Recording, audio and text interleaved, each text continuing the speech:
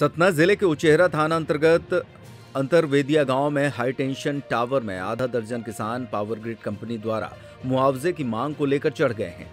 किसानों का आरोप है कि उनके खेत में टावर लगाए कई साल बीत गए हैं, पर अभी तक उन्हें मुआवजा नहीं दिया गया। ऐसे में किसानों का कहना है कि जब तक उन्हें लिखित आदेश नहीं मिलता, वो टावर पर ही चढ़े रहेंगे। दरअसल ये वो किसान हैं जो पिछले दस वर्षों से मुआवजे की मांग पर अड़े हैं, लेकिन इनकी समस्या का समाधान आज तक नहीं हो पाया।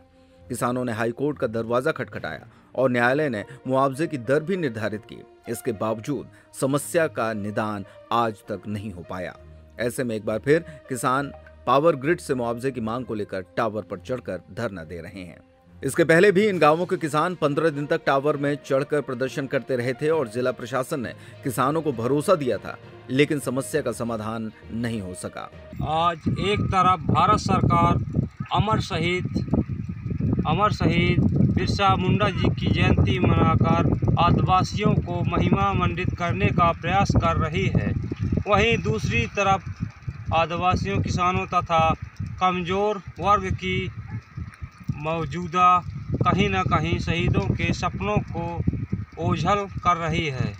एक दशक से न्याय मांगते मांगते आज हम इस स्थिति का टाव, स्थित को टावर में चढ़ने को मजबूर हो गए हैं, जिसमें से आदिवासी किसान माता दीन रामनाथ कोल टावर में चढ़ने को मजबूर हो गए हैं। बारह लाख प्रति टावर, तीन हज़ार रनिंग मीटर की तरफ़ से मुआवजा देने का प्रावधान था। शिकायत कोई नहीं कर रहा नहीं सुनाई हो रही है। आठ साल हो गए टावर गड़े, मेरी कोई सुनाई नहीं है। बारह लाख दर की टावर का, तीन हज़ार रुपये मीटर की दर से तार का। इतना मैं सुना बांटा बीटा हरन तक में। पर मेरे यहाँ कोई एक रुपये भी नहीं दिया। मैं ईटा पारने चला गया।